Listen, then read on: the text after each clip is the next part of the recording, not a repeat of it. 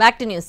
ఉమ్మడి కడప జిల్లాలో పట్టు సాధించేందుకు టీడీపీ పట్టుదలగా ఉంది. గత మున్సిపల్ ఎన్నికల్లో త్రుటిలో చేజారిన మున్సిపాలిటీలను తిరిగి కైవసం చేసుకునేందుకోసం వ్యూహం పన్నుతోంది.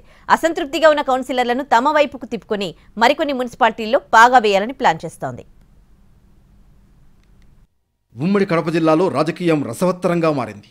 కార్పొరేషన్తో పాటు వైసీపీ గెలుచుకున్న తొమ్మిది మున్సిపాలిటీల్లోని ఐదింట్లో అవిశ్వాసానికి టీడీపీ తెరలేపింది. త్రుటిలో చేజారిన మైదుకూరు మున్సిపాలిటీ కైవసం చేసుకునే దిశగా అడుగులు వేస్తోంది. టీడీపీకి పన్నెండు వైసీపీకి పదకొండు జనసేనకు ఒక స్థానం దక్కాయి.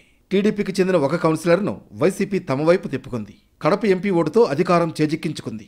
అయితే గత నెలలో జరిగిన సార్వత్రిక ఎన్నికల్లో ఆరుగురు వైసీపీ కౌన్సిలర్లు వైసీపీని వీడి టీడీపీలో చేరారు. దీంతో టీడీపీకి తగినంత సంఖ్యాబలం చేకూరింది. ప్రస్తుత మున్సిపల్ చైర్మన్పై అసంతృప్తితో ఉన్న వైసీపీ కౌన్సిలర్లు మరికొంతమంది టీడీపీ పంచన చేరడానికి సిద్ధంగా ఉన్నారు. దీంతో TDP MLA Putta Sudhakar Yadav municipal chairman పీఠాన్ని కైవసం చేసుకోవడానికి పావులు కదుపుతున్నారు.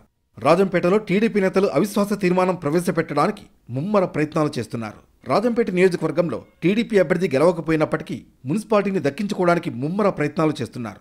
సార్వత్రిక ఎన్నికల్లో దాదాపు ఐదుగురు కౌన్సిలర్లు వైసీపీని వీడి టీడీపీలో చేరారు. మాజీ ఎమ్మెల్యే మేడా మల్లికార్జున్ రెడ్డి వైసీపీని వీడి టీడీపీలో చేరడానికి సన్నద్ధమవుతున్నారు. అంతేకాదు రాజంపేట మున్సిపాలిటీ టీడీపీకి దక్కేలా చక్రం తిప్పుతున్నారు. ఇదే జరిగితే వైసీపీ ఖాతాలో ఉన్న రెండు మున్సిపాలిటీలు టీడీపీ ఖాతాలో చేరడం ఖాయం.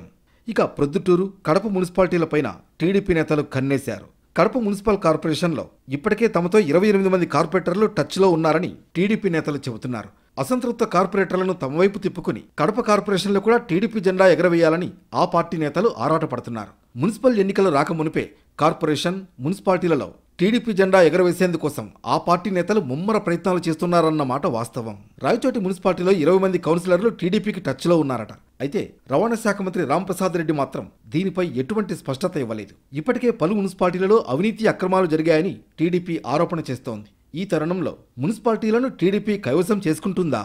లేకపోతే న్యాయ విచారణకు ఆదేశిస్తుందా అన్నది వేచి చూడాల్సిందే.